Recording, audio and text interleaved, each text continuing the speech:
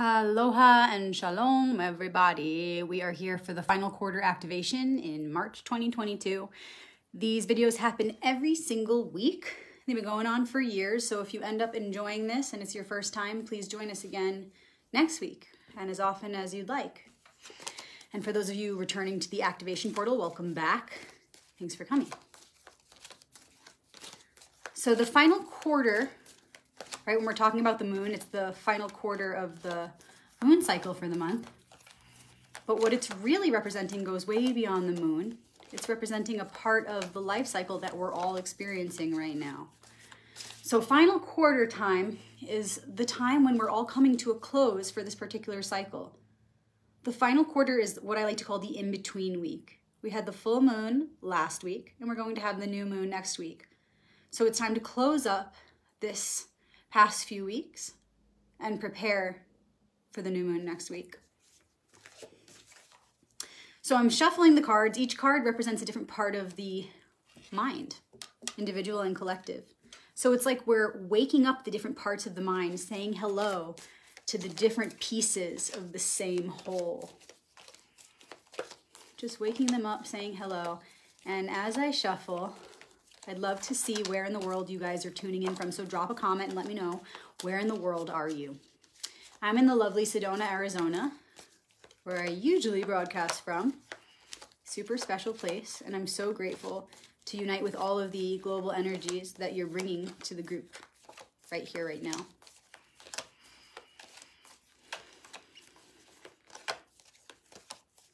I invite you to imagine that when everybody drops a comment saying where they're tuning in from, you can see in your mind's eye the earth and see different different parts of the earth lighting up like pillars of light across the world. Brazil is in the house. Nebraska's in the house. California's in the house. Australia's in the house. And feel free to share this video while we're live with any of your favorite groups, friends, family, somebody who could maybe use an uplifting message right now. I know that's all of us. Or feel free to wait till the end, and this will be loaded to YouTube and Instagram as usual, so that whoever's not on Facebook will be able to access it. Ireland's in the house.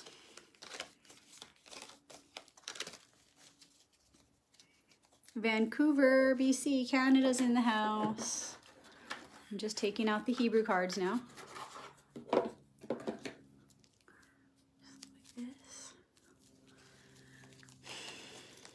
Same thing, we're just waking up the different parts of the mind. Each of the Hebrew letters is like a tarot card. They each represent a different piece of archetypal wisdom. Just waking them up, saying hello. You can think of them as sort of um, different neural pathways within the mind, and we're just lighting up the whole picture when we touch the whole deck, when we shuffle them. New Jersey's in the house.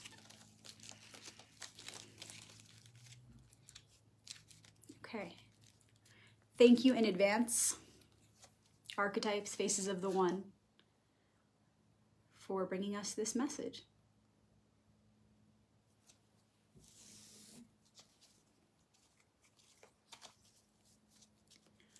Okay, the challenge as we have one foot in the old world, one foot in the new. The challenge as we move forward tonight and through the week ahead. The main one that's calling our attention right now to help us get both feet in the new world, in the new cycle.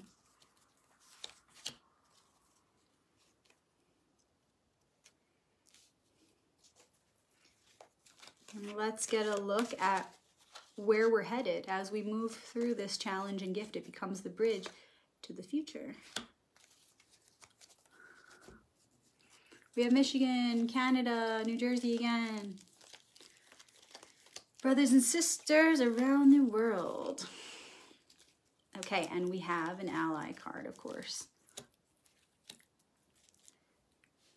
That's going to be the priority ally of the week. Although remember, they're all always within you. Hmm.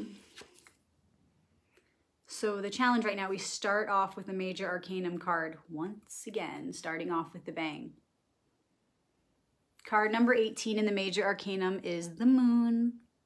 Very much looks like the sun. You can see like the moon is pregnant with the sun. And this is because the sun is next in the sequence. It's foreshadowing what's to come. So the moon card is all about reprogramming the subconscious, shadow work, you know, working on those parts of self that maybe we're in denial of, working on uncovering what has been hidden or what we have either consciously or unconsciously chosen to hide about ourselves, from ourselves, from one another. This is a time of reprogramming, diving deep into the waters of the subconscious and emerging new okay? And you can see there's layers to this. There's always a new layer to go as you move through. It's also a balance. If you, if you see here on the card, there's a dog and a wolf, and they're representing this balance between the masculine and feminine polarities, balance between, you know, cultivating and um, what's the word I'm looking for? Domesticating, you know, and then also allowing to be free and wild. There's a balance. There's always a balance. So if this is the challenge for right now with the final quarter moon in the week ahead, it's saying, okay, now you're deep in the reprogramming. You're deep in there. What can you take from these past few weeks and use as tools for transformation? What realizations or observations have you had this week that maybe led you to thoughts of, hey, I don't like this about myself. You know, I don't like this thing I've been thinking. I don't like this thing I've been saying. I don't like this thing I've been doing. Whatever has been uncomfortable for you to observe about yourself or realize about yourself in the last few weeks, that's the point of focus. So make a list, write it down. Ask yourself, why am I afraid of this? why have I maybe been afraid of it in the past, but it's no longer a valid fear? And was it ever really helpful? And in what ways maybe was it helpful? Because, hey, if you had that fear in the past, that was there for a reason. So, what has it brought to you today? What has it shown you? What has it taught you? How can you make peace with it, bless it, and then be ready to transform, be ready to move on? It can be uncomfortable being in the moon part. The, the moon card is where, you know, we either remember the star that came before, which is where we tune into to our own light and our unique energy and aura. And from 17, we move to 18, the moon. We either remember that light inside as we move through the darkness of the night, or we're deceived and we forget. And we go into the shadows so that we can learn, so that we can reprogram eventually. And then when the sun comes, we shine all that we've learned. We shine all that we are at this new level of beingness. So we're in the middle of the star and the sun. We are at the moon part. In the darkness of the night, how can you remember in your most challenging times right now? And it and it doesn't matter how big or small that challenge is. Get out of your head. Don't judge a challenge as big or small. In fact, try to identify all of the challenges, regardless of your judgment of them being big or small, in your life right now and ask yourself how can this uncomfortable situation inspire me to make a change? How can it inspire me to shift my beliefs, to shift the way that I speak, to shift the way that I act and I behave? So that when I get to that next card or that next part of the story of the sun, I can be proud of the light that I'm going to shine what is the work that I need to do right now in order to ensure that I'm going to radiate more love, more light, more beauty, which means more truth, because that's true beauty. What do I need to do to emit more of that light? Because that's why we're here. That's the whole point of the tarot, which is the royal path, which is life. It's the whole reason we're here. So, what work do I need to do? What inner work do I need to do so that I can emerge from that and shine as bright as possible, as brightly as possible for the world, for the one, for all of life. What work do I need to do right now to get there? Okay, so it's like you're this moon, you're pregnant with the sun. What is that light that's going to shine? Where is it going to come from? What virtues are you focused on right now? And that will help to guide your process because it's always vices and virtues. It's always the vices and virtues.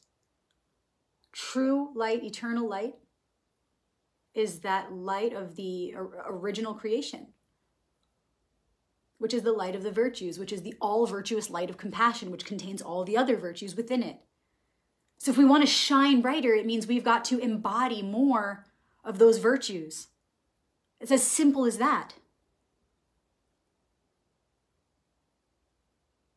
So that's the, the deeper question we should be asking ourselves right now, okay? Notice how it goes from this at first. Hmm, what work do I need to do on myself to shine brighter? To then, more specifically, this.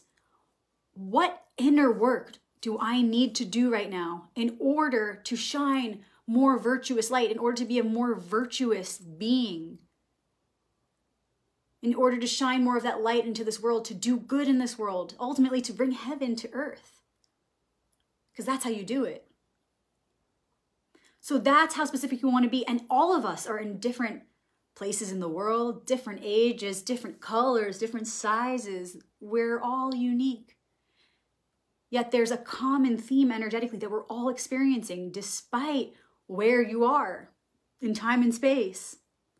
And these archetypal energies have, they don't, they're not limited by time and space.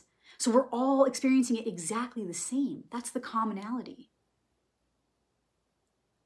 So we can all encourage each other through this process right now, regardless of what the material circumstances are of your reality, whether, you know, you're using your job as the ritual for doing this work or you're using a specific relationship or whatever the details are on the outside, the most important thing is that we can all acknowledge that energetically what's happening is the same for all of us. And it's a theme that we're constantly going through too. It's nothing new, it's not a surprise. But right now, this is where we're at in the story. This is the, the, prominent part. So this is the access point to the rest of the story. The rest of the cards are always present. But this, this is the priority for a reason right now. So we're all being offered this opportunity right now, more supported than ever, to deep dive, to go within and ask, what do I need to do in order to be a more virtuous person? And that doesn't just mean look you look like a fluffy you know, sugary, kind, always smiling being. That's not the case. It's really, honestly, beginning with a list of virtues. What are the virtues to you? What even, what are they? And there are many different lists out there. You can make one of your own or you can search for one, but then focus on the list and, and make sure it's not nothing too crazy. You can keep it simple. You really can. Okay, there are like the, the seven virtues and vices. Seven's great. That's a very simple amount to work with. So ask yourself, what are these virtues? And and then ask, what are the vices? Which are their opposite forces? And it should be easy to identify those vices in our lives, which is great. It's a blessing because the, the darkness that is born of those things is not real and eventually fades away. But the light that comes from the virtues, the opposite forces of the vices, lasts forever. So when you identify, should be easy, when you identify the vices in your life, that maybe you've lost control over for a bit, it's great. It's an access point into this work. Look for where you've been the most impatient. And listen, you're going to go into that vice of impatience, say, oh, that's obvious for me. It's right here that I've been impatient. So I need to just be patient. And then your ego is going to trust. Your ego is going to come in. It's going to make a million reasons up as to why you should continue with the impatience. Well, it's good you're rushing because X, Y, or Z. No matter what, your ego tells you, no matter what that voice tells you, remember, it's keeping you stuck in that trap. Okay? You want to, no matter what, especially when it's hardest, you want to find that vice and flip it, tip the scales. You want to embody the opposite force instead. You want to embody the virtue instead the harder it is, the greater the gift. That's just it, you guys. And you all know this. We all know this already. So, especially look for where it's been the hardest to be patient, to be kind, to be loving, to be supportive, to be honest. Where have you been dishonest? Where have you not been trusting? Where have you been impatient?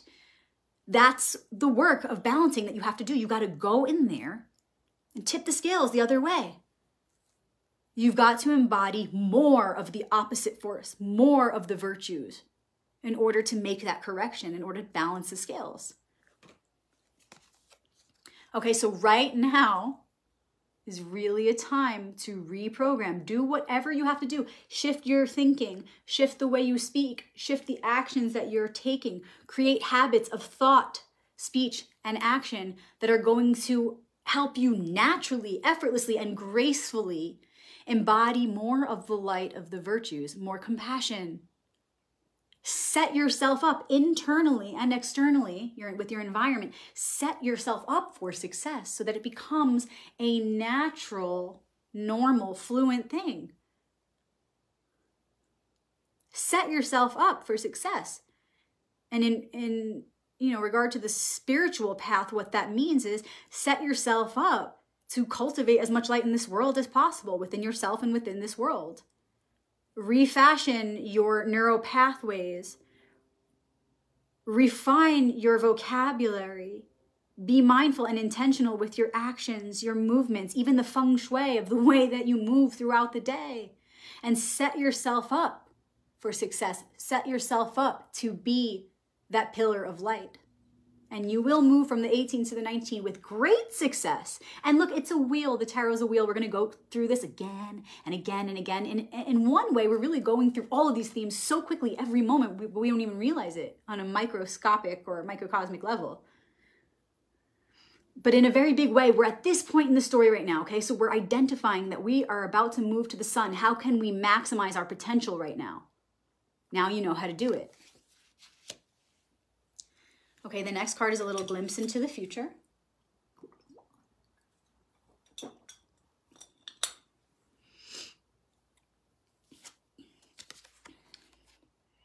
Eight of Pentacles. So it looks like this. Pentacles is the suit of mind to matter. I don't know who has my book number two on the minor arcanum of the tarot, but it does talk about the elemental suits and the manipulations in most modern decks and I go into the understanding, which I, I have not seen written in a book ever. So please, if you have seen it in a book, let me know. But I've never seen a written description of how each card contains all of the elements. But there's a, an order, a priority order in which we should consider this theme from each of the elements. So anyway, that's just a side note. If you want to know more about how to access the whole picture of each card, that's in my books. Okay, so the Eight of Pentacles is a glimpse of the future, what's coming up. And the way that I see it with these two, this being the bridge to get to here, is that the more we do that work of reprogramming, the more we shift our, our thinking, the more we shift the way that we speak, the more we shift our actions. It's not just going to manifest a perfect world immediately, voila. No, instead, what we're going to manifest are new opportunities for you know that mind to matter, that creative manifestation process. We're going to soon, depending on you know the degree to which we do this work, we're going to be receiving new opportunities to grow into that highest version of ourselves. First, we reprogram, then we got to do the work. This is like all the inner work. Then you come up out of that water, reborn, and then boom, boom, boom, you're hit with opportunities to work on yourself, work on your craft, crystallize those lessons that you just internally put in place, make them real, actualize them dreams coming true. This is the card of work, but on a deeper level, it's the card of dreams coming true. Mind to matter, which when we take that to the highest perspective, what is mind to matter? What do we really want to bring from the unseen world into the seen world? Well, that's the ultimate goal of the tarot and the royal path of life, heaven on earth. What are we working for? Heaven on earth, heaven on earth. It's always the same answer beneath it all. Okay, so the degree to which we do that internal reprogramming will, will be to the degree that we're going to start to see new opportunities for creating, for manifesting a life that's in reflection of that new self that we just worked so hard on with the inside, on the inside. Okay, you do all this inner work, but it's not over. Time to follow through in this outside world.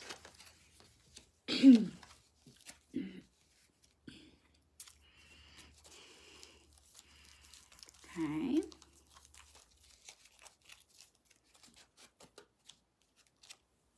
All right, our Hebrew card of the week. This is the tzadi, and it's our ally. I'm just gonna hold it up for a second. Looks like this.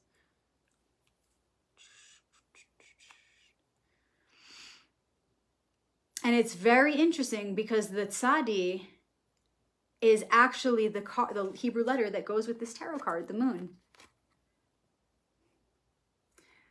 And it's known as the foundation because tzadi is like tzaddik, the word for righteous one.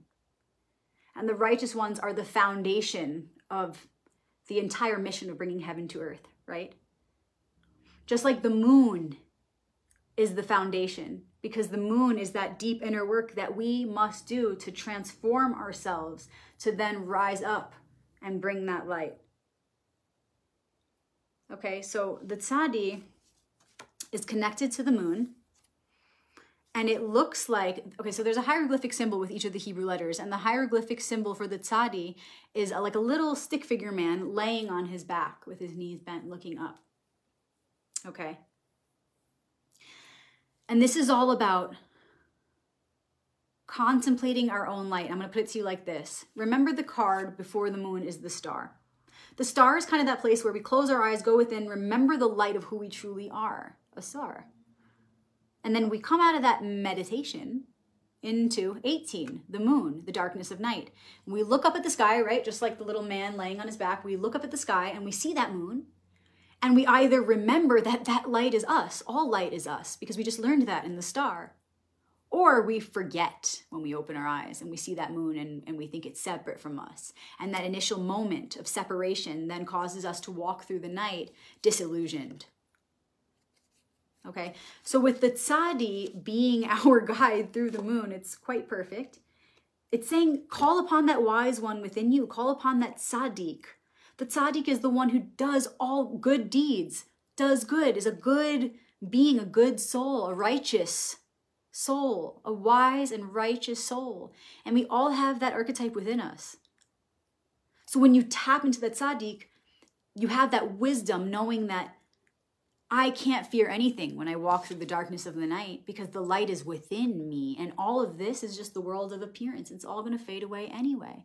There's nothing to fear. That's the wisdom of the tzaddik. Okay? So the tzaddik has nothing to fear walking through the night. And that's the first step because you need to stay in that space of receptivity and openness to be able to learn the lessons as you walk through the darkness of the night. You cannot have that fear and simultaneously be open to these illuminations. You have to know that the true light's coming from within. Okay, the tzaddik also being righteous and good reminds us that even in the evils of the night, or the, the separation we experience, and the hardships and suffering and the pain that comes with the darkness of the night, it's all temporary. It's all temporary. And if we remember our inherent goodness, we will eventually make it through the night to the light of day.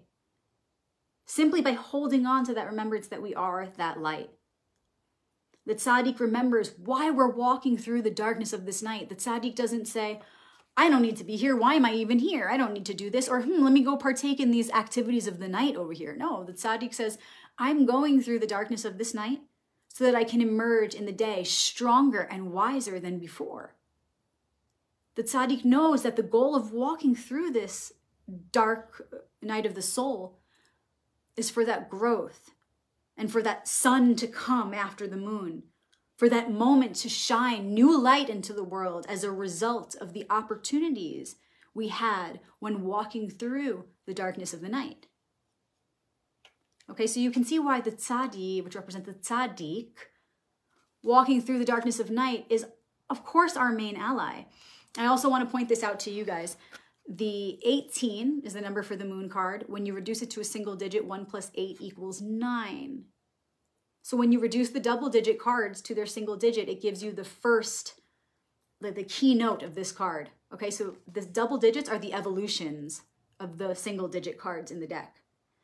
That means that 18 is connected to 9, the hermit, aka the sage, aka the tzaddik. Okay? So, in order to walk through the darkness of the night, this is the perfect ally. We want to have that tzaddik energy, that wise one energy. Because when we carry that, when we solidify that and anchor in that frequency, there's no greater way to make it through this stage. You see, it's a story, it's all connected. The way that we walk through the initial initiations before coming to the following points in the story determines how we go through those following points in the story. The way we begin with the very first card is the way that we walk through the deck until we re- you know begin again, until we restart again. You understand? This is the cycle of life. So depending on how you've cultivated those initial archetypes that brought us to this part in the story, will determine how you walk through this part of the story to the next. How have you prepared? The tzaddik is here to remind you. Tap into that ancient one within, the sage wisdom, the one who has no fear, stays open to the challenges, and ultimately remembers the whole point is to get from the moon to the sun, to shine that light, which is goodness, which is righteousness, which is the light of the virtues, which is the focus of the tzaddik or righteous one. Okay, so just to summarize this whole thing, we're going through the challenge this week of reprogramming ourselves, learning as much about ourselves right now as we can to be able to reprogram ourselves with the goal of shining the most light with this next part to come, the sun. We know that we're going through this dark night of the soul right now. We know that we're going through this reprogramming so that we can be the best version of ourselves, which means shining the most goodness, the most light into this world. Okay, up until t- today, you might have been thinking, yeah, there's some things I'm uncomfortable with about myself, but you may have just been stewing in that discomfort.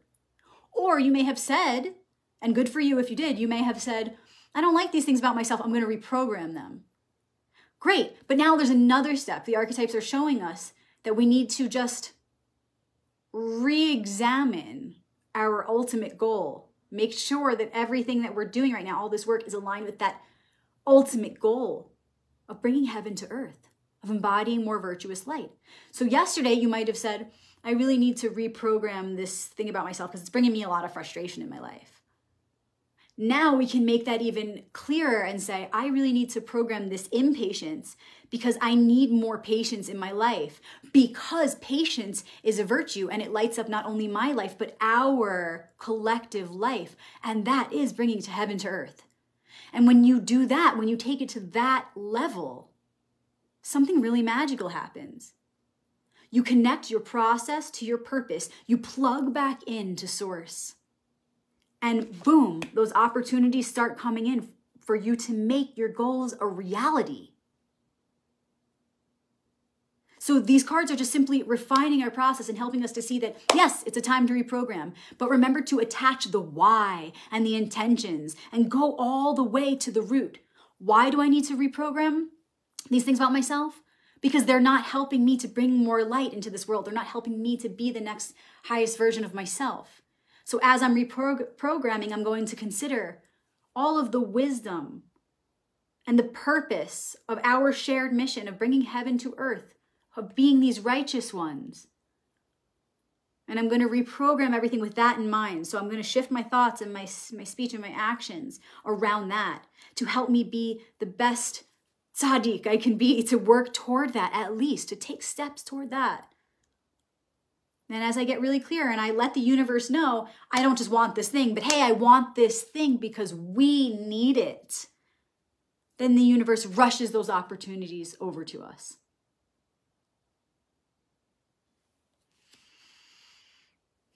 So we have an 18, we have an 8, and we have the tzadi, which is the 18. So it's very clear here with the ones, we have the eights, the 18. Very, very clear reading. Happy reprogramming, everybody. You're not alone. Remember that we're all doing this and we can help each other by having dialogues that kind of depersonalize the story, you know, leave out more of the material details of the situation. We don't even need to talk about names or speak about other people involved or you know about the exact job or these things instead we can help each other by taking it to the root the archetypal root of what we're experiencing right now and say hey whatever it is you're working on with yourself bring it back to the self depersonalize whatever it is you're working on how can i assist you to be that. Or maybe it looks like you sharing an inspiring story with a friend or family member or somebody you just meet about what you're working on with your own character, your own process of reprogramming, perhaps your vulnerability and your communication, your openness about it will inspire others to do this profound work. And to them, it might seem so simple. They, they might not understand in that moment, at least, the profundity of the situation. But nonetheless, they will then take on that profound work and be doing it with all of us simply because you decided to share with them how you're working on developing more of that virtuous light.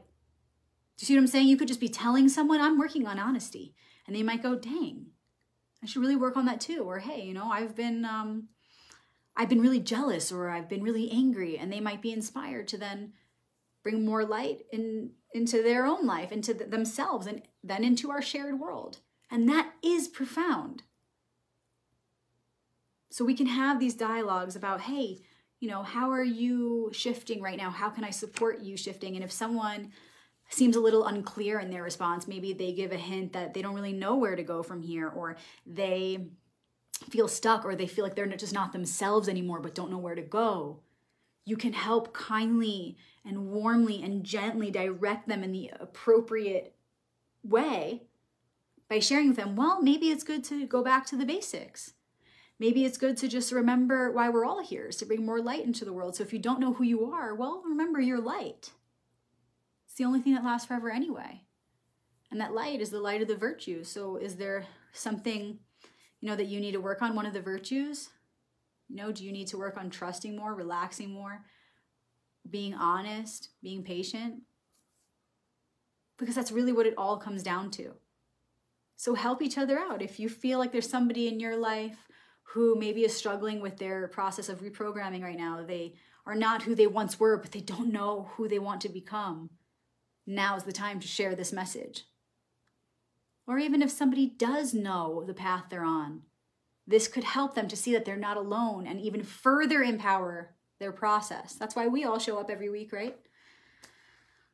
So thank you for doing that work to reprogram, to doing that inner work so that we can all collectively bring more of that highest, purest light into this world. As we transform ourselves, we write the script for soon to come opportunities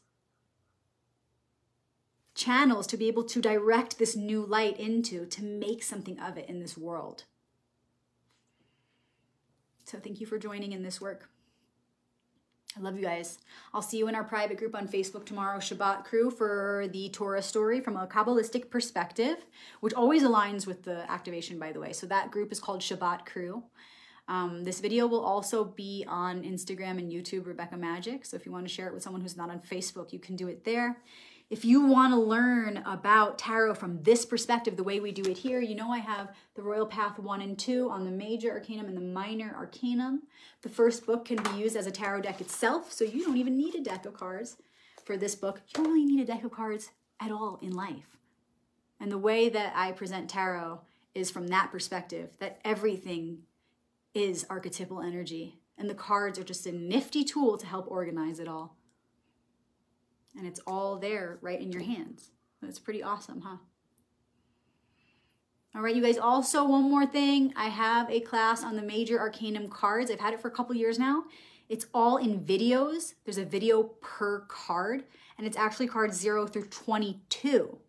And there are a couple of bonus classes as well. Each class is about 60 to 90 minutes long. It's not like the book. It goes into the occult symbols of each of the cards, so it's very different and very in-depth and so much fun. So if you're interested in that, please reach out to me, private message me. I do have a website if you want to share this information with family and friends. It's royalpathtarot.com. That's it, super easy. Please reach out if you want to book a one on one session. I'm still available for those. Just book ahead of time. Reach out to me for details on that, okay? Mwah! Aloha and shalom. Happy final quarter.